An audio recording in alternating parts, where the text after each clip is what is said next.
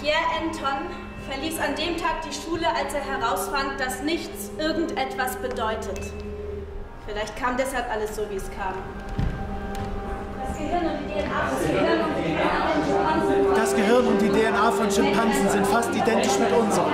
Menschsein ist überhaupt nichts Besonderes. Es gibt sechs Milliarden Menschen auf der Erde. Das sind zu viele. Aber im Jahr 2025 werden es 8,5 Milliarden sein. Das Beste, was wir für die Zukunft der Erde tun können, ist sterben.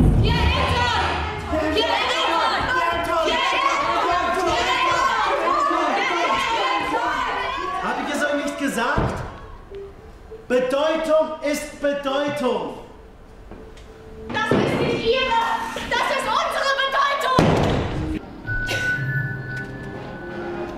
Beijo.